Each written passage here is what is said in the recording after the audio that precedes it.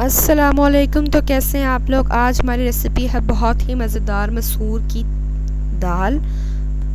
तो चलते हैं अपनी रेसिपी की तरफ़। यहाँ पे मैंने एक फ्राई पैन ले लिया है, उसके अंदर मैंने ऑयल ऐड किया और दो मीडियम साइज़ के प्याज ऐड कर दूँगी। प्याज को हमने अच्छी तरह जो है फ्राई कर लेना है और उसके बाद हमने इसमें लहसुन और अदरक का पेस्ट ऐड कर लेना है। और पेस्ट को अच्छी तरह जो है हमने दो मिनट के लिए फ्राई करना है।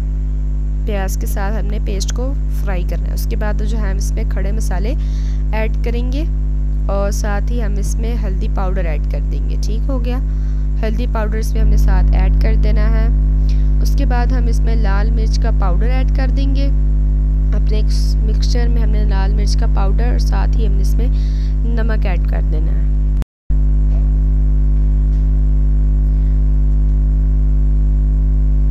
अब हमने अपने इस मिक्सचर को अच्छी तरह जो है वो मिक्स कर लिया था फ्राई कर लिया था थोड़ी देर के लिए। तो अब हम इसमें साथ ही टमाटर का जो पेस्ट है, जो फ्रीज़ वाले टमाटर होते हैं ना, वो मैंने लिए थे और उसको अच्छी तरह जो है मैंने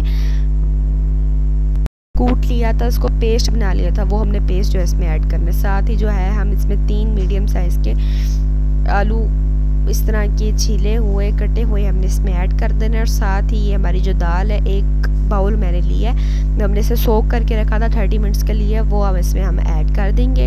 इसको हम अच्छी तरह जो है वो मिक्स करेंगे, पानी ऐड करेंगे। मैंने इसमें जो है एक बड़े वाला बाउल पानी का ऐड किया है। और उसके बाद हम इसमें जो है वो सब्ज़ मिर्चें ऐड कर देंगे। हमने तीन से चार सब्ज़ मिर्चें ऐड कर देनी है इसमें। इसका, आपने इसको काटे बगैर बिल्कुल इसी तरह जो है वो ऐड करना है। इसके जो इसका जायका है बहुत अच्छा आएगा। इसको ढक देते हैं और घंटे के बाद इसको हम देखेंगे। अलहमदिल्ला आधा से पौना घंटा हो चुका है और जो हमारी दाल है बहुत अच्छा जो है इसका कलर आ गया है। इसमें जो है साथ ही काली मिर्च पाउडर ऐड कर देंगे। हमने काली मिर्च का जो पाउडर है वो इस टाइम पे ही ऐड करना है। पहले हमने ऐड नहीं करना।